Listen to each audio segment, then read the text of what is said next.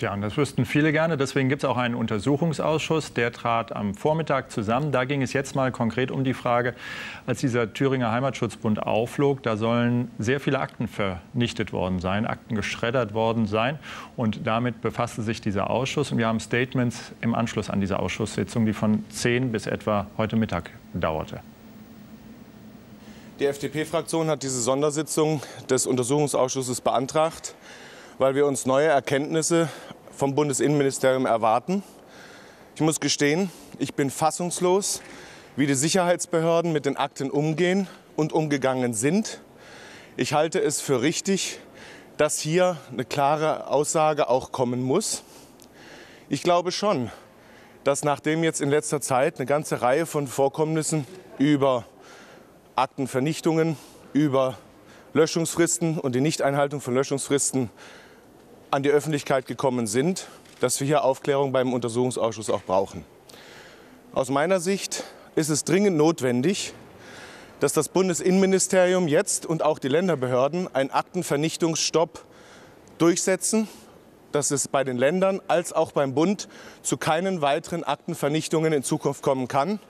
Ich muss gestehen, ich bin davon ausgegangen, dass eine Aktenvernichtung seit dem Aufkommen des Terrortrios nicht mehr stattfindet. Der Untersuchungsausschuss muss die Möglichkeit haben, sämtliche Akten auch entsprechend einsehen zu können und ein Gesamtbild zu erstellen. Wenn Akten vernichtet werden, ist dieses nicht möglich. Deswegen fordere ich auch das Bundesinnenministerium auf, spätestens jetzt für den Zeitraum der weiteren Untersuchungen und der weiteren Ermittlungen im gesamten Bereich Rechtsextremismus keine weiteren Akten mehr zu vernichten bekannt gewordenen Aktenvernichtung im Innenministerium äh, vom 14. November 2011? Äh, Wir erwarten jetzt ein Gesamtbild darüber, wann welche Akten vernichtet worden sind, wer die Anordnung vorgenommen hat und wer sie auch vollstreckt hat. Und hier gehe ich davon aus, dass wir im Untersuchungsausschuss, jetzt auch in der Beratungssitzung, entsprechende Aussagen auch seitens des Bundesinnenministeriums bekommen, welche Akten von wem angeordnet vernichtet worden sind. Geht es konkret bei Ihren Fragen an Herrn Engelke auch darum, ob es vorsätzlich vernichtet wurde? Gehen Sie davon aus oder gehen Sie davon aus, dass das ein Unfall war?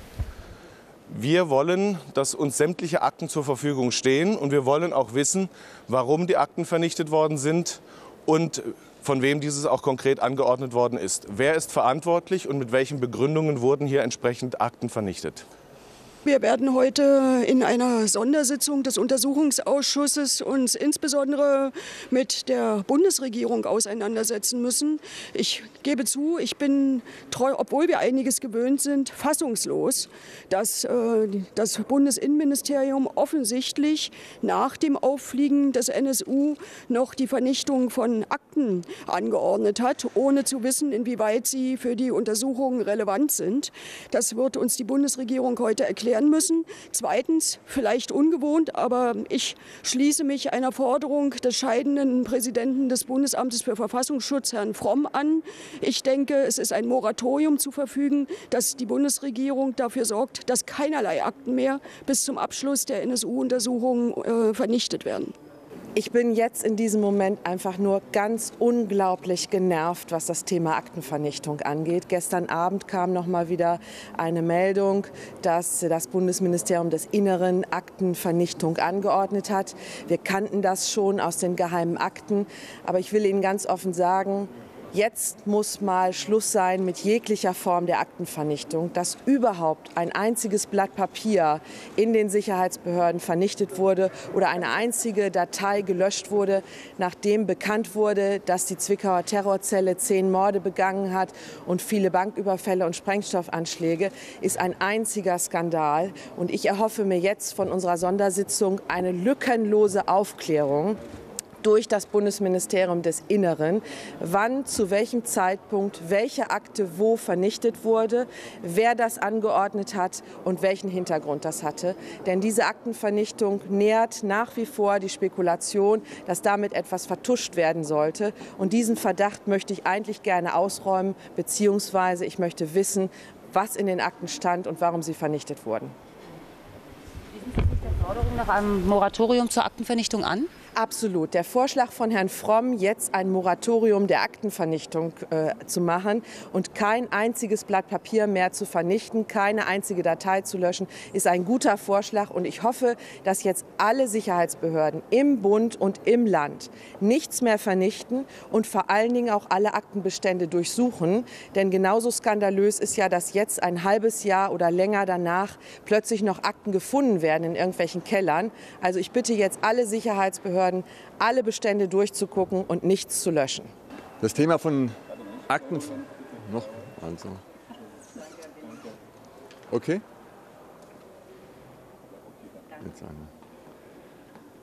Die Vernichtung von Akten ist ähm, ein sehr sensibles Thema.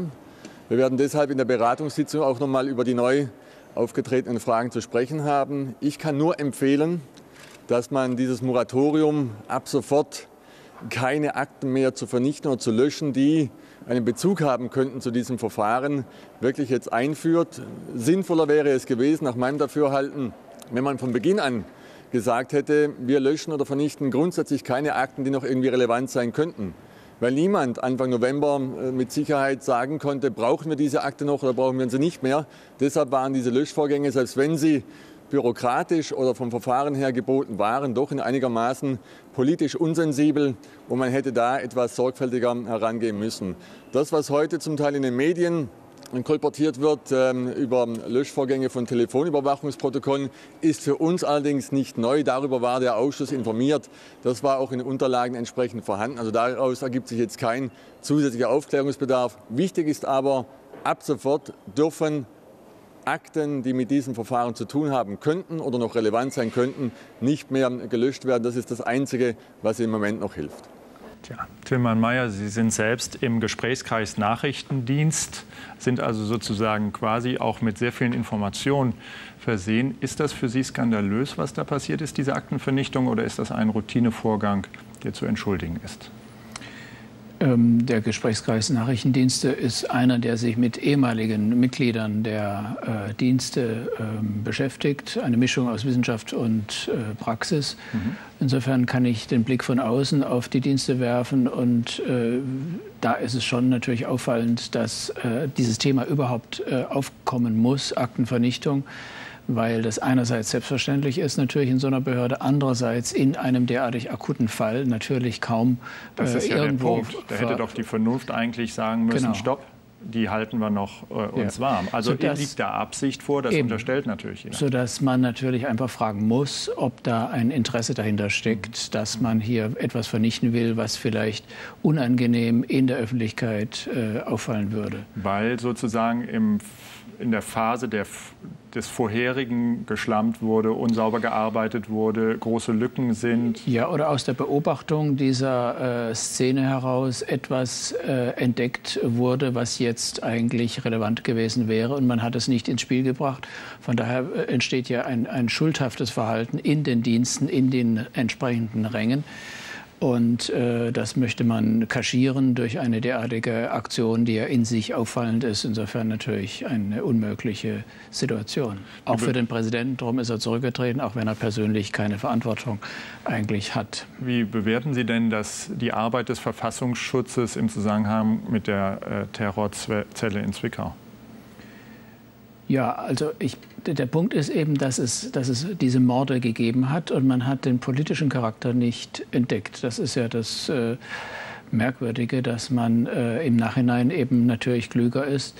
Äh, dieser Zusammenhang entsteht nicht. Das heißt, es ist schon ein Problem der Vernetzung der Sicherheitsdienste insgesamt, dass sie auf sensible Dinge sich nicht untereinander austauschen können. Und äh, da muss, glaube ich, durchaus etwas äh, geschehen, dass wir äh, meinetwegen auch elektronisch eine bessere äh, Kontaktierung untereinander zulassen dürfen. Das geschieht nicht und das hat diese verhängnisvolle Konsequenz. Insofern ist, glaube ich, nicht eine Schrumpfung oder Erweiterung, sondern eine bessere Vernetzung mhm. Äh, mhm. eher die Lösung. Glauben Sie, dass der neue Präsident Hans-Georg Maaßen, heißt er, ab 1. August äh, das packen wird, diese stärkere Vernetzung? Oder dass er scheitern wird, weil die Strukturen einfach zu sehr zwischen mein und dein unterscheiden? Also er wird natürlich äh, auf einen Erfolg aus sein und äh, der Erfolg wird sich höchstwahrscheinlich nur einstellen, wenn eben zugelassen wird, was man durchaus von politischer Seite ja auch mit Bedenken betrachtet, äh, dass diese Vernetzung legitim ist, zugelassen werden darf da ein Lösungsset zu finden, das wird seine Aufgabe sein und äh, sonst wird er das nicht überleben. Der neue Präsident steht ja schon, bevor er sein Amt angetreten hat, heftig in der Kritik. Erklären Sie uns noch mal, warum und wieso und wie berechtigt Sie diese Vorwürfe auch halten. Er war vorher schon in Verfahren ähm, involviert, in der er, in dem, wo er gewisse Auffälligkeit bewiesen hat in seiner rigorosen, in einem rigorosen Zugriff aber ich denke, er, hat eine Chance, entsprechend hier jetzt anzutreten, auch als Fachmann aus dem Innenministerium heraus. Man sagt andererseits, die Leitung einer derartigen Behörde hat er noch nicht äh, erfahren oder darin Erfahrungen. Aber ähm, ich denke, er wird äh, seine Chance haben. Kurzer Ausblick auf die Reform des Verfassungsschutzes. Sie sagen stärkere Vernetzung. Welche neuen Aufgaben sehen Sie für den Verfassungsschutz? Also es wurde ja gestern bei der Vorstellung des Berichtes klar durch den bisherigen Präsidenten. Der Verfassungsschutzbericht 2011. Genau, dass dort ja nach wie vor, obwohl wir jetzt nur über diese Morde hier reden, mhm. die größte Gefahr vom Islamismus ausgeht, von den Salafisten. Und dieser Faktor steht nach wie vor natürlich im, im Zentrum der Beachtung, nicht der Rechts- oder Linksextremismus, so sehr er natürlich hier jetzt diese Schlagzeilen macht und berechtigterweise. Aber eine Gefahr für die Bundesrepublik geht hauptsächlich eben von dieser Kraft aus. Insofern werden wir uns auch darüber dann noch viel stärker auseinandersetzen müssen, denn das ist die, die, die Kernaufgabe. Nicht jeder weiß es. Erklären Sie noch mal die drei großen Institutionen. Bundesamt für Verfassungsschutz, MAD und BND. Bundesnachrichtendienst, ja, genau.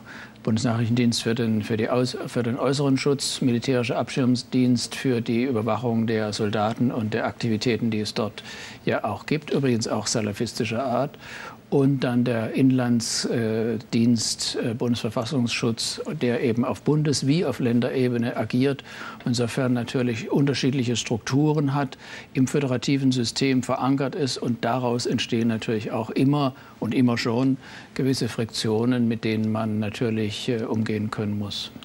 Ich sage schon mal herzlichen Dank für diese Information.